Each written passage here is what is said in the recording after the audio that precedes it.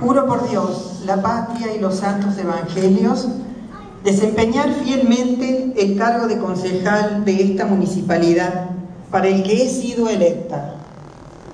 Si así no lo hiciere, Dios y la patria me lo demanden.